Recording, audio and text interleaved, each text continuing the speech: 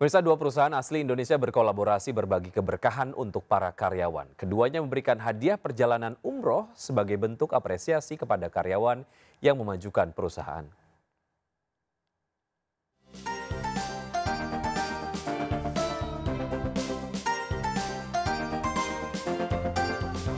Le Mineral dan Rumah Makan Padang pagi sore berkomitmen mendukung kemajuan dunia usaha dalam negeri lewat kerjasama dan dukungan terhadap usaha milik bangsa.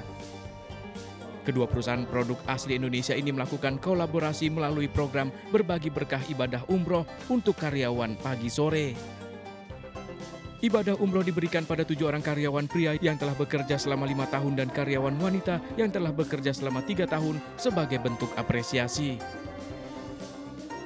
Uh, Alhamdulillah ya kami banyak sangat terbantu dan Le Mineral sangat support terhadap uh, kami. Terima kasih kepada Le Mineral. Mudah-mudahan uh, menjadi ladang amal dan uh, pahala dan untuk kemajuan terus kesuksesan untuk Le Mineral.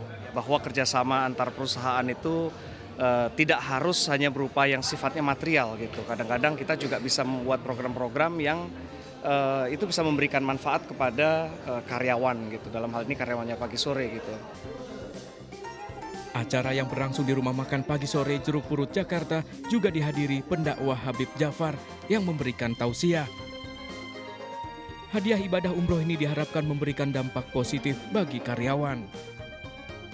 Dari Jakarta, Muharlin iNews melaporkan.